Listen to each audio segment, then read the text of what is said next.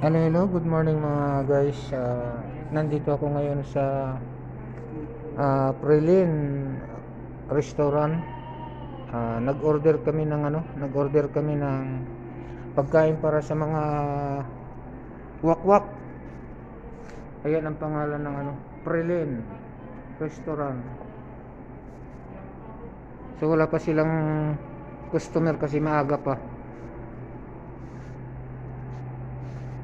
Ito ngayon ang in-order namin. Yan ang klase ng in-order na pagkain ng ah, amo ko. Ito itong mini mini sandwich. Tapos itong uh, croissant na bread. Nag-order siya. Yan lang ang in-order niya, yung dalawang klase na yan. Tapos, pero, andito pa rin yung kanilang mga, ano, ibang ah, product, mga chocolate cake. Ayan.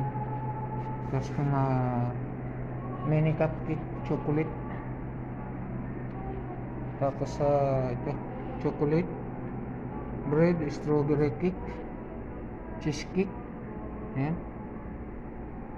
Kasi yun yung kanilang mga ano, yung kanilang mga product dito. Tapos si Kabayan ayan siya yung ano dito ah inorderan namin. Maganda maganda yung kanilang ah, restaurant. Malinis malinis.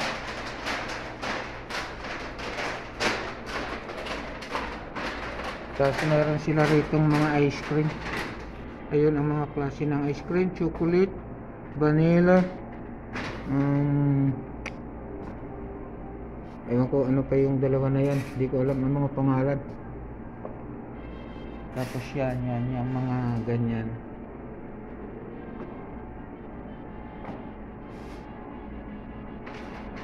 Tapos yung uh, kanilang mga ah, parang uh, chiffon cake ayan. Ito mga pangalan. English cake chocolate caramel saffron cardamom date walnut and orange. Yan, yan ang mga product nila dito. Dito na ngayon ako magbabayad sa counter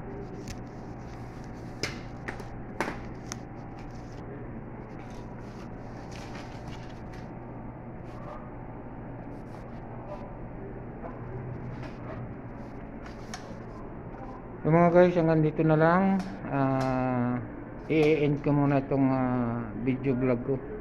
Thank you, thank you very much. And don't forget to watch and share, like, and ah, please hit the notification bell all para updated kayo sa aking mga susunod pang ah, video. Thank you, thank you very much. Ah, hanggang dito na lang. Thank you. I-end ko na. Bye-bye.